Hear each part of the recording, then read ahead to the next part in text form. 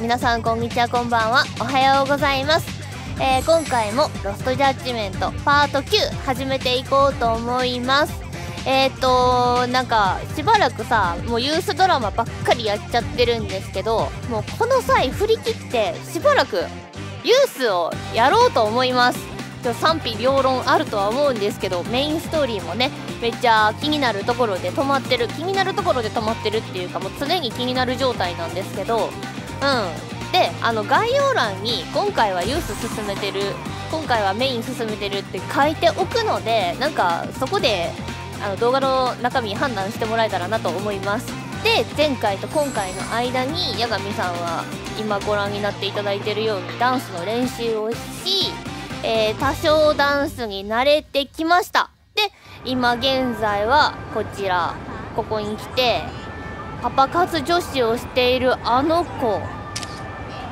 この子が西園ちゃんと仲が良さそうなこの高梨舞香ちゃんかっていうところなんですが髪型これポニーテールなんかな？顔はこんな感じやろ？あの子どうやった？うーんお団子頭。髪型前髪の感じは似てるけど顔ちょっと違う？どうかな？微妙なラインですね。別人かもしれへんしどうや？ここの輪っかの中に入ったら、うん、ターゲットサーチ開始。ええこの子やろ？高梨舞香がよくデートをしているという噂があるのはこの辺だ。特徴をもとに探し出してみるか。えこの子以外にもなんか学生の子いた？ターゲットサーチモードについてこのモードは事前に分かっている人物の特徴からターゲットを見つけ出すことが目的です。はい。まあまあまあこの人かなっていうところで調べるアイコンを押したらいいんですよね。え？あーうん？この子でしょ？あ似てるけど違うか。違うわ。別人やん。まあ一応調べるだけ調べましょうか。うん。奥舞台できれうん。目の時点で違うもんな。髪型も全部違う。うん似てる気もするが別人だよな。もうちょっと探してみるか。あれ？この子かと。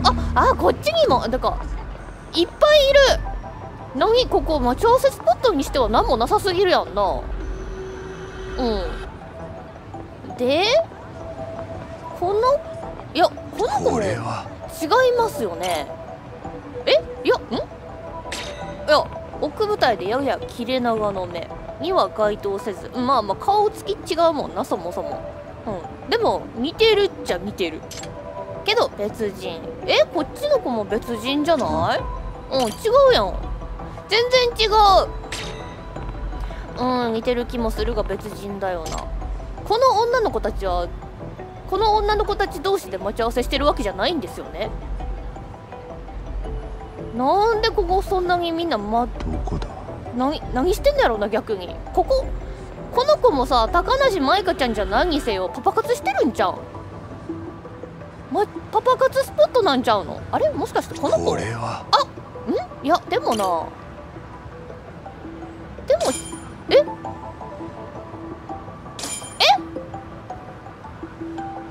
この子？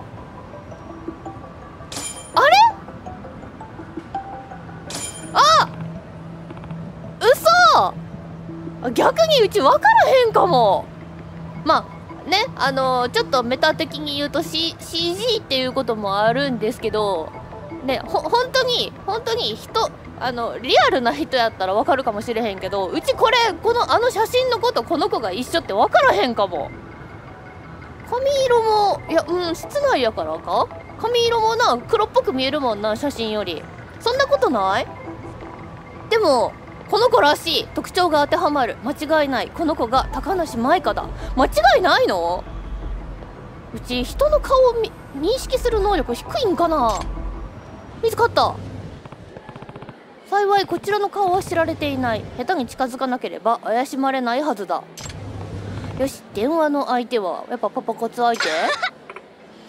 うんうん。ええー、ああもうあれやわ。高校生の女の子がする会話じゃないもん。なあこれ。うんうん。フェラーリ乗りたい。パパ活の相手と電話をしているみたいだな。あ電話？あそっか。天沢ちゃんも来るって言ってたもんな。八神さん表にいます。合流しましょう。えでも相手フェラーリ乗るらおいおいおいおいおいそんな逆に怪しまれるって。あいつ変装しているようだが挙動不審すぎる。バレバレだぞ。バレバレというか普通に変な人。えとりあえずとりあえず甘沢ちゃんのとこ行けばいいの？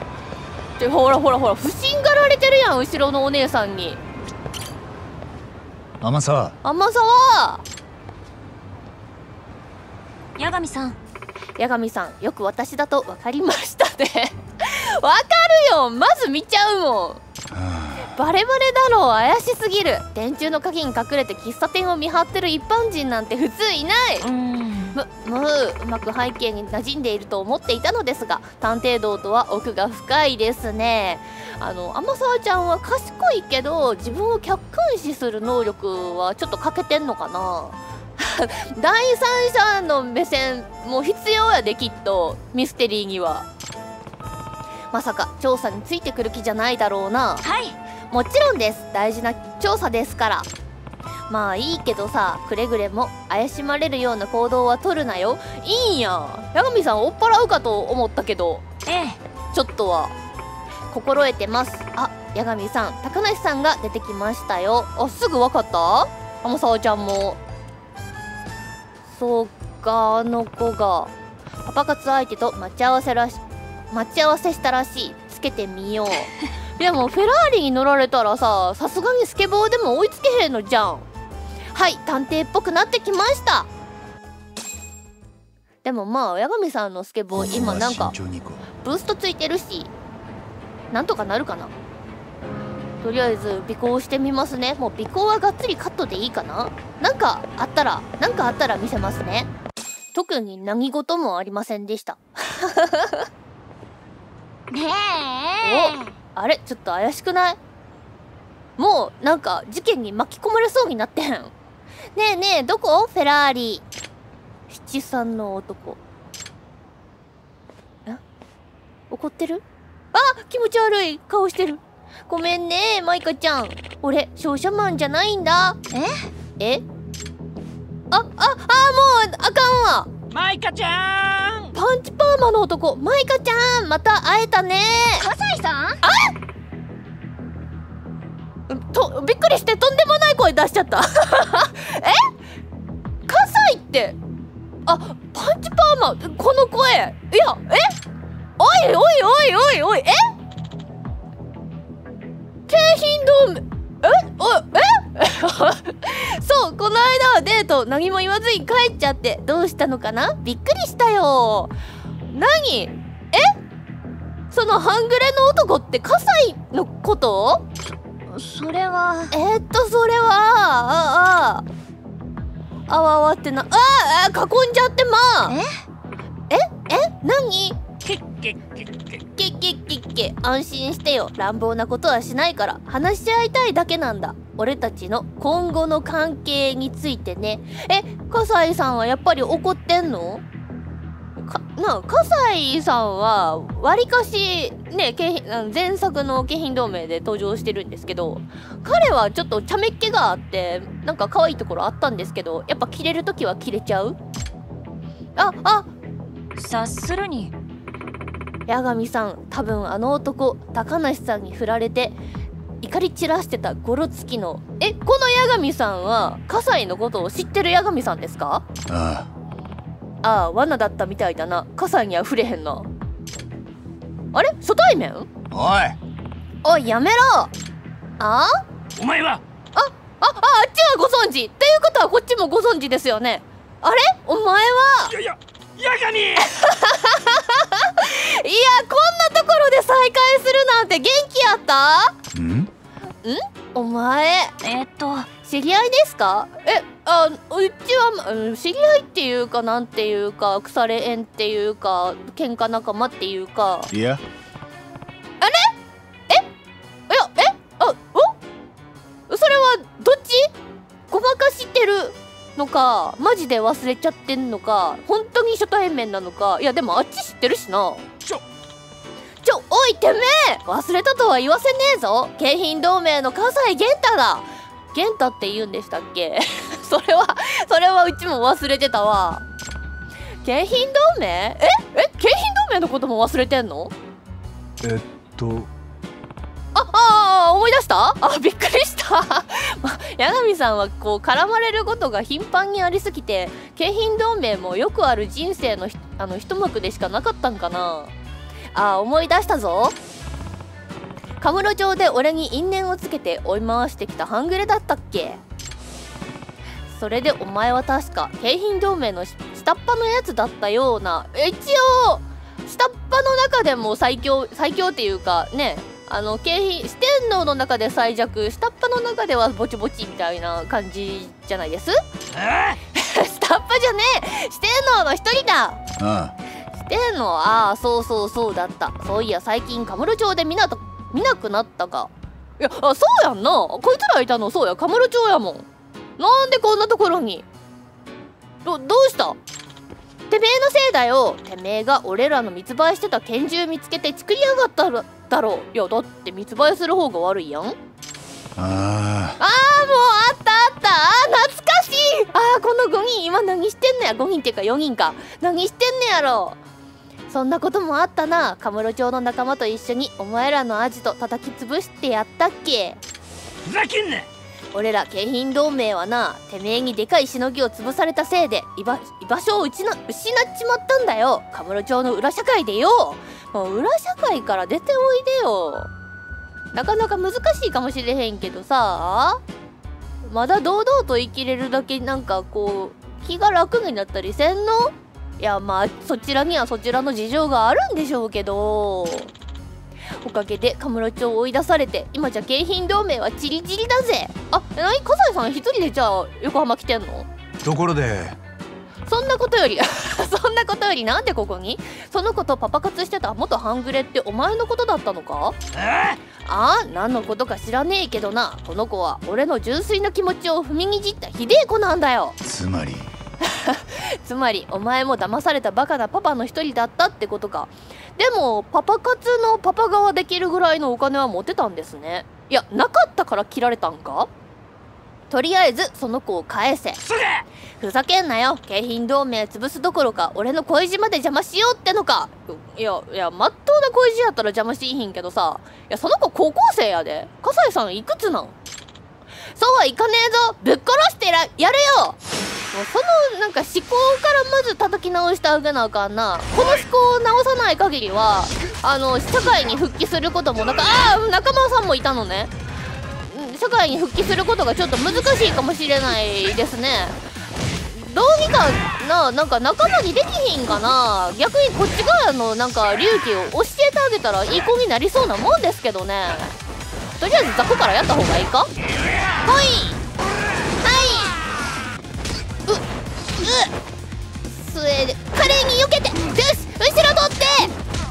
い。あうやばいか。やばいか。あ危ない。危なかった。最後壁からのヒートアクションしようとちょっと壁際行ってたけどうまくできひんかった。うーちくしょういやこっちも結構キワキワでしたよ。おい。おい母さいお前つるんでる仲間がいるようだがまだ徒党を組んで悪さをしてるんじゃないだろうな京浜同盟自体はもうチリチリやから解散みたいなもんなんか？け何もできやしねえよ。偉人帳は清流会やらコミジュルやらで俺の入り込む余地がねうーん清流会コミジュル。あとねあのー、あれあれ。あのー、あれあれ。アハンピンリューマンや。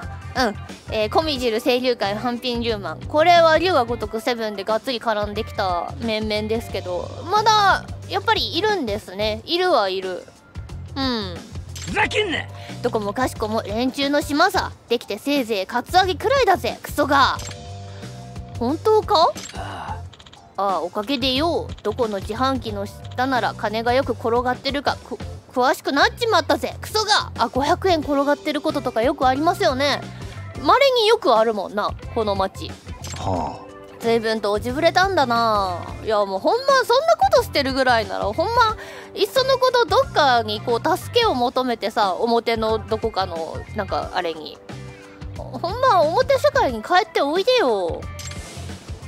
あでもこの面々もね今どこで何してんねやろお前の他にも四天王がいたろ？そいつはそいつらはどうしてる？うん古賀榊場本田のことか？古賀の野郎にはこないだ町で偶然あったが。えでもこっちに来てんねや。古賀？えっと。うん一番上みたいな感じやんな。そう茶会売ってたガチガチの本人みたいな。うん確か京浜同盟四天王の武器商人みたいなやつだったな。こいつと戦うの苦手やった。ほんま一番強かったわあああいつも偉人町に流れてきてからは流れてきたんや。随分と苦労してたみたいだが。最近新京浜同盟って組織を立ち上げたらしいぜ。そこに入れてはもらえへんかったん？なんだと？新京浜同盟だと。解散した元京浜同盟のやつらを集めて偉人町で何かやらかすつもりらしい。え収集されてへんの？もっとも何かできるとも思えねえけどな。偉人町の裏社会は満員だ。俺らの入り込む余地はねところで。えうん。お前は誘われなかったのか？やっぱそう思うやんな。さあな。さあな。まだ声はかかってねえけど。かかってへんねやん。戦力外通告ってやつかな。言わないでいてあげるだけ優しいな。お？お？天沢ちゃん！近づいたらあかんこんなやつ。あなたちょっとお聞きしたいのですが。あ？あもう担当直入に気になってること聞くね。プロフェッサーという名前に心当たりは？ププロフェッサーだと？えそれが子があったりする？いやいやでもな。ん？なんだ知ってるのか？いや。いいや知りはしねえ。だがん？え？古賀に会った時奴がその名前を口にしていたんだ古賀もプロフェッサーに願い事叶えてもらう側？あもらう側や！プロフェッサーは素晴らしい。あのお方ならばこの町の裏社会の構図を書き換えられるかもしれないってな。古賀のさらに上？古賀がつ伝えあの使えてる側っぽいなんかニュアンスですね。古賀がそんなことを。つまりそれじゃあプロフェッサーは実在したと。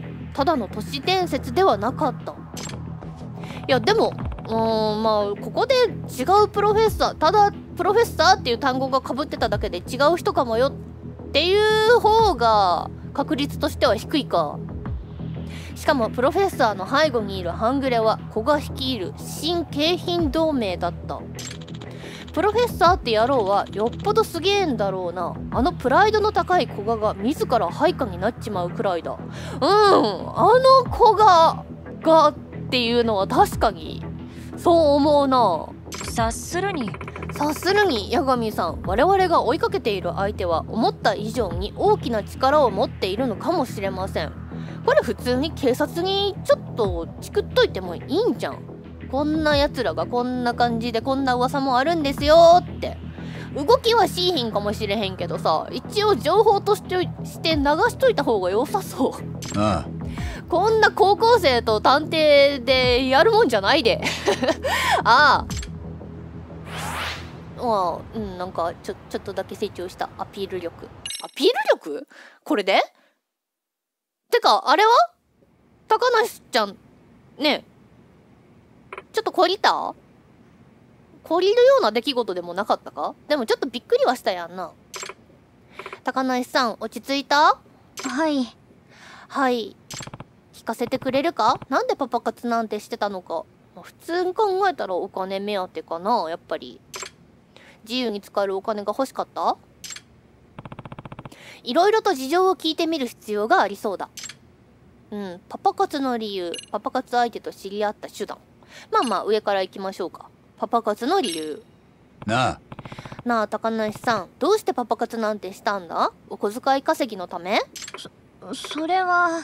それは？え？友達のためなんです。え？友達の？友達。ことこの？ことこちゃんって？知らない子ですよね？まさかことこ？まさか。糸倉ことこさん。糸倉ことこさん？ん？糸倉？誰だ？ダンス部の子？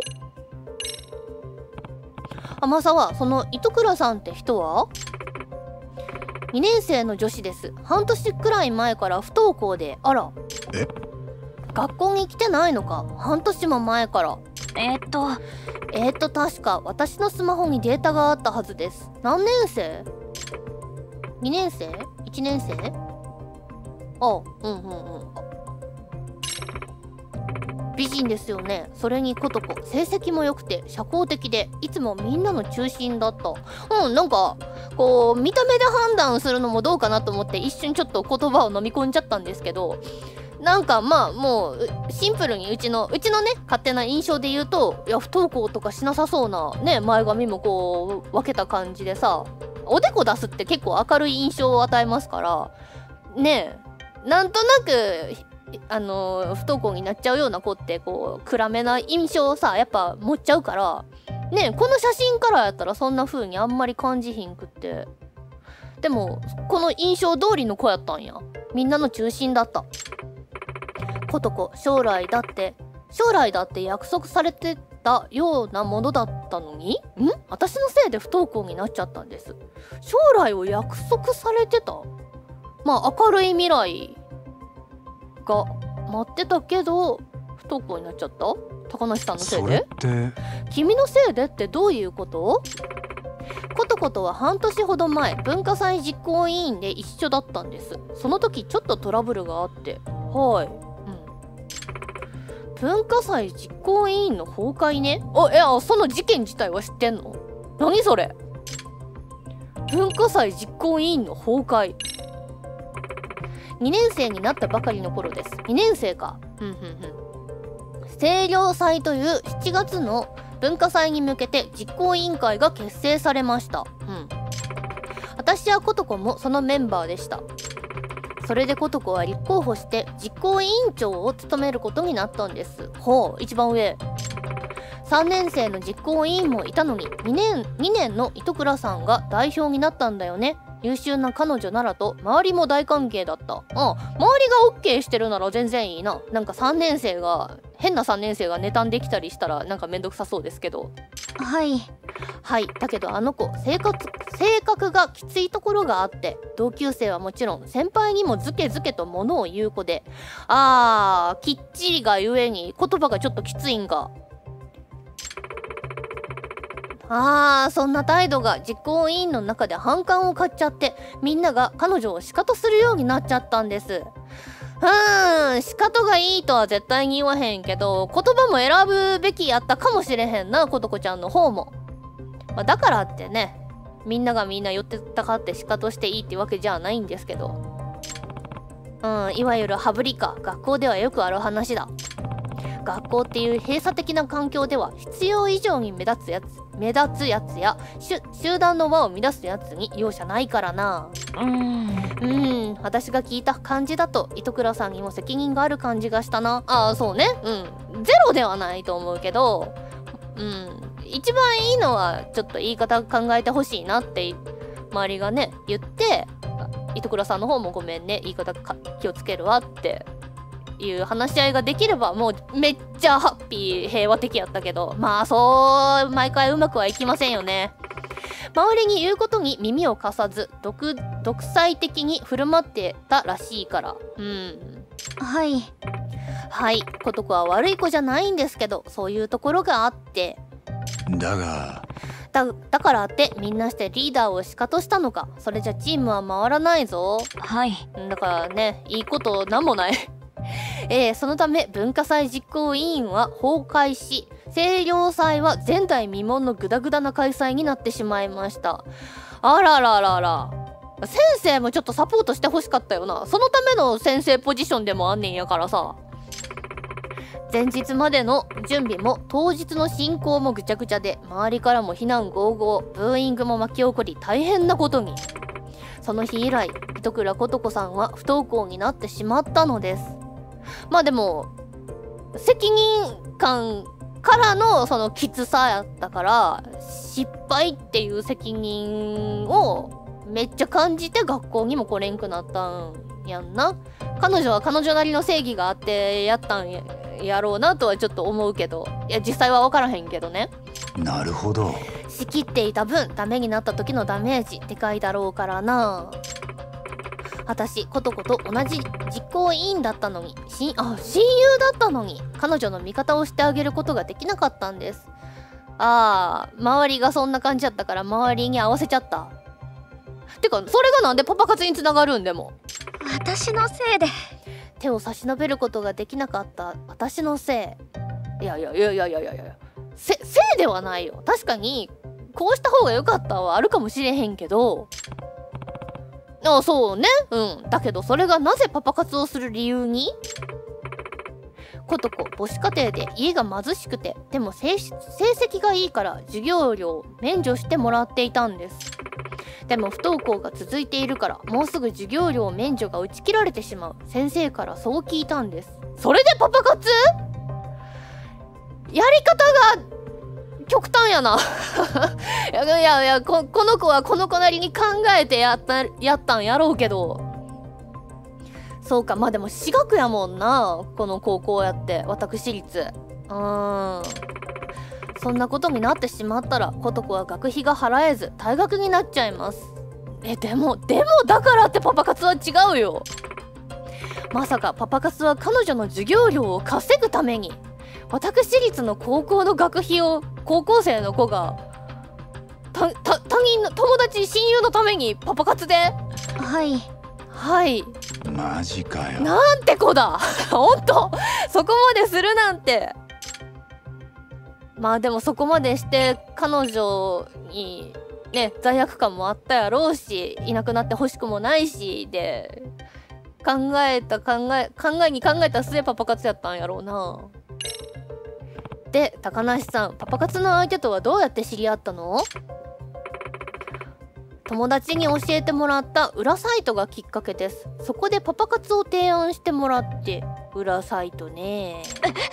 裏サイト。それってももしかしてプロフェッサーの？それも実在実在したんだ。でもそれやったらさ何でも願い事叶えてくれるっていうことやからもうねえことこちゃんの学費を免除してもらえますように。じゃああかんかったんかな？はい。はい。仲のいい子たちの間でだけ口コミで URL が広まってました。そこにすぐにたくさん稼げるバイトがしたい。えそあお願い事がなあ。そうじゃなくて友達の学費が大変そうでどうにかなってほしいとかやったらまた違ったかもしれへんけどなすぐにたくさん稼げるバイトがしたいって書き込んだら直接私宛てにメッセージが来たんです。プロフェッサーって人から。ということは？ということはプロフェッサーから直接？それじゃあ裏サイトでは直接メッセージのややり取りもできるんだね。はい。はい。それでパパ活を提案されて可愛い君なら簡単にお金をたくさん稼げるよって。いやだからって高梨ちゃんもさあいいじゃんパパ活ってなるか？なったのか？なってしまったのか？あー一応そうも言われてたのね。危険なことになったら守ってくれるとも言ってたので大丈夫かなって思って。でもさっき葛西がな襲ってきそうになった時八神さんは来たけど八神さんはプロフェッサーじゃないですからね。守ってくれるってことはプロフェッサーって高梨ちゃんは思ったかもしれへんけど。おへんかったで誰も。えー、っと。守ってくれる？確かトラブルになったら怖いお兄さんたちがやってきたって噂になってたけど。はい。はい。何度え？あそうなんか。え実はさっきも影から誰か見てたりした？はいなんとか実際に守ってもらいました。なるほど。そのケツ持ちの連中古賀が立ち上げたっていう新京浜同盟のやつらかもしれないな。あ相手が葛西やからえなんかめんどくさどうしようって思ってたんかな。それしてるうちに八神さんが出てきたっていう。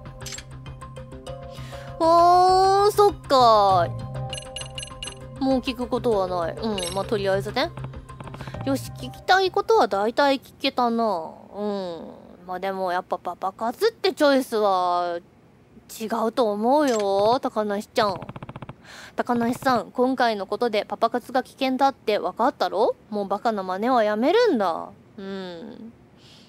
まあねその親友のことこちゃんの件がパパ活やめたら解決しひんやんって思うかもしれへんけどさ。それはえいやダメじゃないでしょ。それはダメです。まだコトコの授業料を払うだけのお金貯まってないんです。いやいやいやいやいやいやいやえー、うんどうやったら説得できるかな。とりあえず違うやん。でもプロフェッサーって人の背後には半グレがいるんだよ。危険だよ。でも。うーんそれでも私は罪滅ぼしをしたいんです。コトコのためにこコトコちゃんに会いに行ったりはした？なんかねえが彼女が学校に来たら解決するわけやん。でねえねえなんかあそそこになんか糸口がありそう。コトコのためだから。コトコが帰ってこられる場所を守ってあげたいんです。うん。うんでもでもだから私はパパ活やめるつもりないですから。八神さん今後どうしましょう。高梨さんはまだパパ活を続けるって言い張ってますけど。なんかなんかうまいことなんかいいアイディア浮かばへんかな。なんかここまで喉の元までなんかなんかこうしたらいいやんって言いたいねんけどなんかうまく言葉でまとまらへん。けどパパ活は違うしそことこちゃんが学校に来たら全部解決するからそのねうまくで大丈夫だよっていう風に彼女のことこちゃんの方を説得する方に力を注ぐべきやと思うねんけどそんなことない？うーん。うーんそうだな。高梨さん糸倉さんに直接謝ったことはある？そうそうそうそうそうそうそれそれそれ。え？え？それはないんかいまずそこからやって。学校にはあの時は味方してあげられへんかったけど本当はこパパ活をするっていう危険を冒してまであなたのことを思ってる友達がいるんだよって知ってもらう方が多分ことこちゃんはパワーになるんちゃうか？自分の気持ちを伝えたことは？いえ。ないんかうんうんうんうんうんあそうそうそれがほんまにあのねそそれそれそれやなだったらまずきちんと謝って自分の気持ちを伝えるべきだパパ活なんかして遠回りせずにさ違うかなあもう八神さんはスマートやなうちがこう蛇行運転してる間にズバッてもうめっちゃシンプルに伝えてくれたそれはそれはそうかもしれませんがパパ活なんかより全然ややりやすいはずやけどやりにくいんかな。よしそれじゃあまずはそこから始めようか。それで何かが変わるかもしれないだろう。うん。高梨さんそれでいい？はい。はい。八神さん準備ができたら声をかけてください。共に糸倉さんの家に向かいましょう。うん。行こう。もうすぐ行こういいよ。八神さん。八神さん準備はよろしよろしいですか？いいよ。大丈夫だ。ああ大丈夫だ。わかりました。では向かいましょう